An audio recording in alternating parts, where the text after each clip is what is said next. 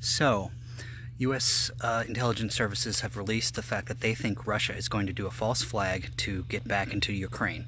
Now, at first you might think, well, you know, U.S. government lies sometimes. That's true. However, in this particular case, I don't know if any of you remember this man named Alexander Litvinenko. He released a book called Blowing Up Russia, and in it he basically said, as part of the KGB, they fucking blew up and killed at least 300 people in apartment buildings in Russia.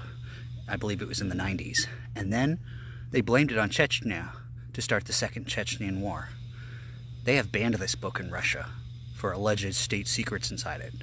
But I'm pretty sure the real reason is they don't want you to revolt against the government. It's just so messed up, our society. The other thing with former KGB agent Alexander Litvinenko, he had the bravery to come out and say what they did. And then the Russian government they poisoned him with plutonium. A slow, horrifying death. And they did it in his food, and this other guy got sick too that was eating with him. They did it in public to let other people know you don't go against us. You don't go against us. What kind of mafia shit is that? That is disgusting. Reform Russia. You need to reform. America, yes, America has problems and needs to reform too. But Russia, come on. Stop poisoning and killing journalists. So yeah, I do think there's a high chance that uh, Russia was planning a false flag, and now that they've exposed it, they probably won't do that. Hopefully, and they took out Ukraine's uh, internet today. Somebody did, probably, probably Russia. You know, and China's not that great either. They got these giant Uyghur camps, and they are like presumably killing people and re-educating them as well. So it's just, it's like, and America's supposed to be the the shining beacon, and so far, you know, we haven't, as far as I know, had any giant false flags. I, I, I don't really know what happened on 9/11. I mean, we know the official story, but yeah, yeah, life's crazy.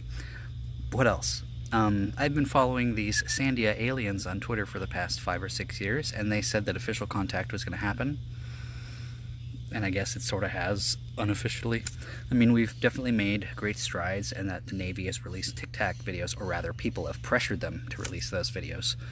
And so it's like, I, I, I based my entire life around just, okay, I can just wait for first contact, wait for first contact. 2021 comes, and they said they'd have official first contact, and they didn't and I guess other people are getting it. And I guess, you know, I have some anger problems and issues, so I'm not the best candidate, but I've been trying my telepathy. I've been writing down my dreams for the past four months, and I mean, part of it is I understand because we are so tribal still, and we still lie to each other, and our governments lie to us to protect us. You know, and I tried to do the Christianity thing for a while, and I still pray to Jesus and whatnot, but it's just hard for me as a questioning person to go to church and Bible study and not question and just obey. I guess sometimes that's life. Sometimes you have to give in and let go and obey and accept that we're all going to die and all that stuff. But it still can be depressing. Um, why can't we just love each other and, and, and talk to each other and try to work things out? I don't know. Because we get angry at each other sometimes, I guess. I don't know. Why do we have to have some God or some ET or some government telling us how to live our lives? Why can't we just figure out how to do it peacefully. Alright, well, I'm to work on my map.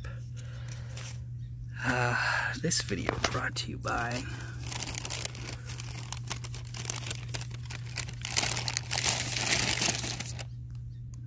Tuscana.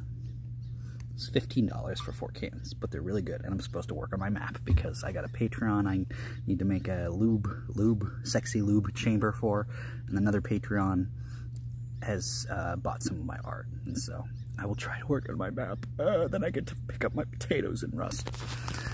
And uh, special thanks to my stepmom for just being awesome and uh, supporting me, and my dad and my mom and and Boots by Kitty. Other, other than him just screaming at me all the time, he's a good boy. if you have any comments about anything, put them below, or any stories you want me to report on let me know. If you don't comment, I don't know what to what to do. So have a good one.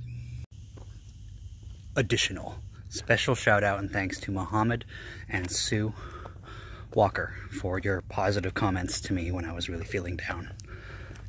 I'm grateful, and I'm trying to walk that path of being more grateful and consuming less crap. It's very difficult, but that's life sometimes.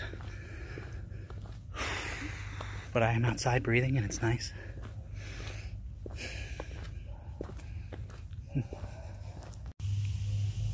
additional, additional special thanks to Frag. Thank you for putting up with all my bullshit. Thanks for being a good fan and friend. And Malden and Dome and uh, Willis and uh, even you, Bip. Bip, you're awesome.